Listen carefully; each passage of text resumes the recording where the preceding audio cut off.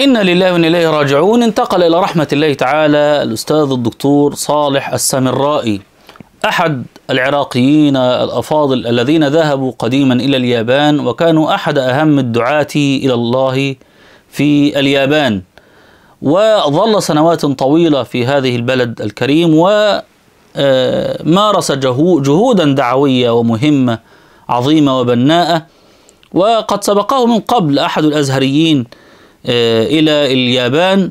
فما قصة الأزهري الذي ذهب إلى اليابان وقصة يعني الداعية الجليل صالح السمرائي رحمه الله الذي بذل جهودا كبيرة ومهمة في هذا البلد الذي انتقل إلى رحمة الله تعالى. نسأل الله أن يتقبله في الصالحين. هذا ما نتحدث عنه بمشيئة الله تعالى.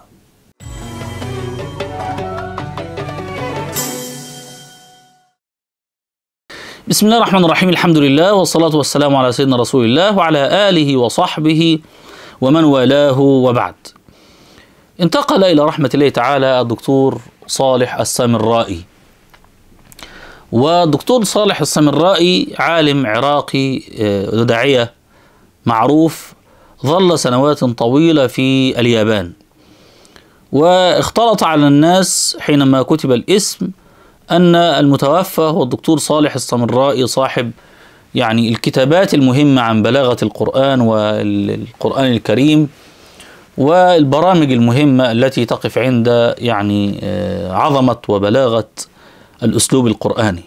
الرجل يعني يعني فاضل حي يرزق رسول الله عز وجل أن يطيل في عمره ويحسن في عمله وينفعنا وإياكم بعلمه. أما المتوفى الدكتور صالح السمرائي. الدكتور صالح السمرائي آه عراقي أيضا. ذهب قديما إلى اليابان للدكتوراه ثم عاش في اليابان لفترة طويلة وكان يعد من أوائل الذين مارسوا الدعوات إلى الله في اليابان. وسبقه من قبل واحد اسمه اسمه الشيخ الجرجاوي. يعني أفتكر اسمه علي الجرجاوي الشيخ علي الجرجاوي. وده كان راح في الثلاثينات. كان سمع إن اليابانيين بيسألوا عن الإسلام وكذا آه باع يعني قطعة أرض له وذهب إلى هناك وكتبت عنه في هذه الفترة مجلة الإخوان المسلمين مجلة جريدة الإخوان المسلمين. آه الإخوان المسلمين كان لهم مجلة حسن البنا عملها سنة 32 اسمها مجلة جريدة الإخوان. طب يعني إيه مجلة جريدة الإخوان؟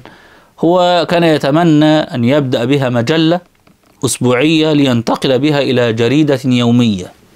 وظل هذا الحلم يراوده إلى سنة 46 في 10 مايو 46 أصدر حسن البنا جريدة الإخوان المسلمين اليومية إلى أن حلت جماعة إخوان المسلمين في 8 ديسمبر سنة 1948 المهم نشر في هذه المجلة حسن البنا عن الشيخ علي الجرجاوي آه إنه الأزهري اللي ذهب إلى اليابان هو كان كتب لما راح الرجل كتب استغاثة إن الناس يحتاج دعاة يذهبون إليه في اليابان ليمارس الدعوة. هذا المجتمع مجتمع يعني يشجع على ذلك. انقطعت هذه الأخبار تماما بعد ذلك لا نعلم ما حدث للشيخ علي الجرجاوي. آه لكن أذكر لما ذهبت للعمل مع الشيخ القرضاوي سنة 98 في هذا العام 98 99 زارنا الدكتور يعني صالح السمرائي الله يرحمه عن المركز الإسلامي في اليابان لأنه كان رتب زيارة للشيخ القرضاوي إلى اليابان والشيخ القرضاوي ذكر تفاصيل الرحلة دي في كتابه ابن القرية والكتاب. في الجزء الرابع في الجزء الرابع من مذكرات القرضاوي ابن القرية والكتاب ذكر بعضا من هذه التفاصيل. وفي كتابه فتاوى معاصرة في الجزء الثالث في الطبعات القديمة الجديدة في بقت فيها في الأعمال الكاملة بقت في الجزء السادس يعني. فقابلت الدكتور صالح الله يرحمه. وبعدين لما جت السيرة فقال لي ده أنا عايز الكلام ده. كانت لأن قال لي إن فعلا لما راح بحث وسأل وعمل عن علي الجرجاوي قال لي ما قلتوش أي آثار ولا أي أشياء. نرجع لها. سمعنا فقط في بعض الأدبيات إن في حد اسمه علي الجرجاوي أزهري من مصر من جرجه آه جه ولكن ما شفناش لا تساب مركز إسلامي ولا مسجد ولا كذا. ما يعني المهم آه، جبت له النص بتاع مجلة الإخوان واديته له وقتها يعني. ولكن قال لي للأسف لم نجد أي آثار يعني. آه، لكن الدكتور صالح ذهب ويعني بعد ما درس وجد أن المجتمع الياباني مجتمع قريب في طباعه الأخلاقية من حيث الشرف والمرأة والأسرة والبيت من ال- العرب المشرقي لكن طبعا في مسألة النشاط والحاجات دي إحنا لازلنا بيننا وبينهم مسافة في هذه المساحة يعني. وبدأ يبحث الرجل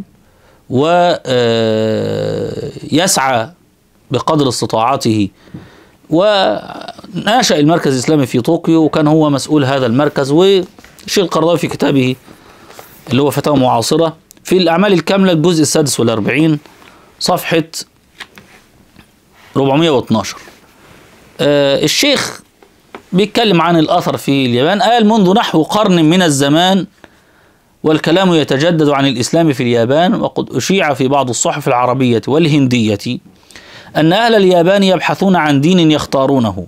وأنهم يقيمون مؤتمرا للأديان من أجل ذلك ولم يكن الخبر صحيحا. وإن شاع في بعض الأوساط وسافر من أجله أحد علماء الأزهر على نفقته الخاصة إلى اليابان والشيخ علي الجرجاوي الذي باع عدة أفدنة من أرضه في الصعيد ليشتري بها تذكرة ليصل إلى اليابان ويبقى هناك عدة أشهر ويؤلف في ذلك كتابا سماه الرحلة إلى اليابان. برضه ما شفناش الكتاب ما عرفش راح فين ربما حد يعثر عليه يعني. ومع ذلك لم ينتشر الإسلام في اليابان كما ينبغي وإن دخل فيه آلاف من اليابانيين الفضلاء أنشأوا الجمعيات والمراكز الإسلامية ويجتهدون في نشر دينهم. أعرف عددا منهم من خيرة المسلمين ونسأل الله لهم التوفيق. ورأيي أننا سننجح في دعوة اليابانيين إلى الإسلام. ده كلام الشيخ القرضاوي كان حابب مش قادرين ننجح. يوم ينشأ دعاة إليه من اليابانيين أنفسهم. فهم أولى الناس بمخاطبة قومهم.